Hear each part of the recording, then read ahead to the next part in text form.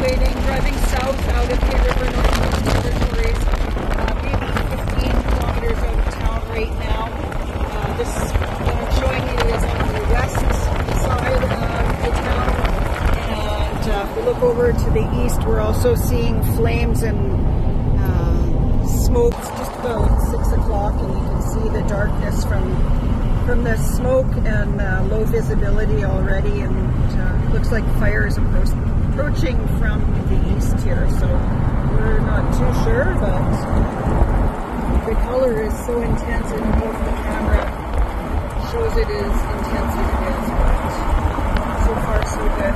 Lots of vehicles heading out of the town. Okay, so we've just passed Paradise Gardens here, um, heading south and the visibility is changing. You can see the smoke cover uh, rolling in on the ground um, from, from the direction. It's so incredibly bright over there.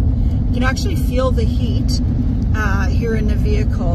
And then over to the west of us, you can see the swirling of uh, smoke uh, around and um, still vehicles heading south, emergency vehicles heading south as well. So it's, uh, it's it's definitely different uh, than evacuation in May. The fires come from a different direction. Um, and we'll just try and document as much as I can for